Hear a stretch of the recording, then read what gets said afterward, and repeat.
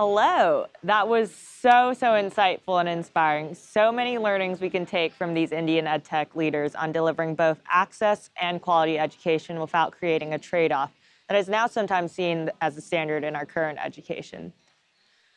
I wanted to chat with you all about a new theme we've introduced this year to the ASU GSV Summit. I know I actually brought on Sheila Marcelo from Proof of Learn earlier, who gave us such a great primer for what Web3 in education will look like.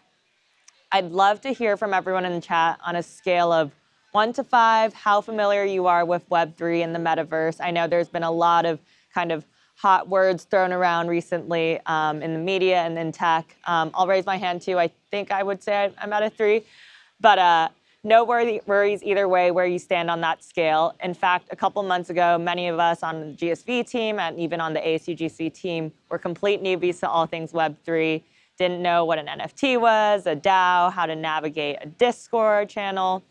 But I think there's an exciting sense that Web3 technology is going to be a new paradigm, a new way for us to learn, socialize, play, work in a decentralized manner.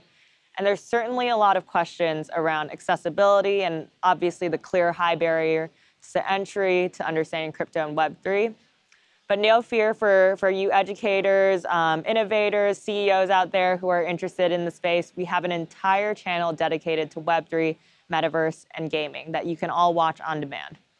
In fact, upcoming is a session that I'm very excited to moderate. So you'll see me there. It will be centered around education and gaming and how that will play out in the metaverse. So if you're interested in the metaverse or gaming, you're in luck because next up on our Spotlight channel is how the metaverse and gaming can transform education. I'll be chatting with the heads of education from Roblox, Epic, Minecraft, Endless Studios, and thought leaders from Schmidt Futures. I'll see you there in a few short minutes.